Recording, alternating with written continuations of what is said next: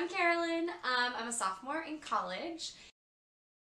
So um, I'm going to talk about direct deposit. It is basically it's that your employer sends your paycheck directly to you instead of to um, instead of having to go pick it up or having it mailed to you, which takes forever, snail mail. Um, so if you're going to do that, which I would highly recommend because it's much easier and faster, you need to get a deposit form from your employer. You need to get the credit union's routing number, which is at the bottom of the website, um, and you need to your own personal account number.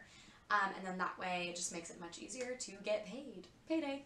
Again, if you have any questions, you can call or text the credit union at 503 256 5858.